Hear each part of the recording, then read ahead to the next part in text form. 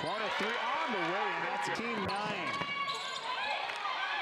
Daniel and Walker underneath the Fowler. Great pass by Lauren Walker. Skip pass. Fowler in the corner. Three on the way and good. Team points.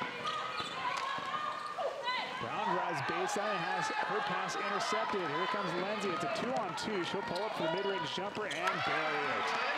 Parker, Gorsman, Lindsay, top of the key. Buries it. 35-17. Anderson coming on the timeout, leaves that one short. Gets her on rebound. The putback is good. Four rebounds for Kate Anderson. Up ahead to Fowler. Nice reverse layup by Portland on top by 21.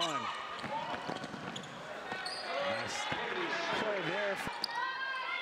Yeah, around the screen. Nice bounce pass to Daniel. Anderson. Skip pass to Muhlheim from deep. Maddie Muhlheim. Line spins. Has that pass intercepted. And a layup and one at the other. She did it last game against Loyola as well. Entry pass to Anderson. Turnaround jumper is good. Kate Anderson. Holland will bring it up. Kicks it off for a three-pointer. Good. To Holland. Quickly the other. That's a three-pointer, and it's good. Very Daniel leading the ropes. She's got 18 points. The only Grand Canyon player in double figures.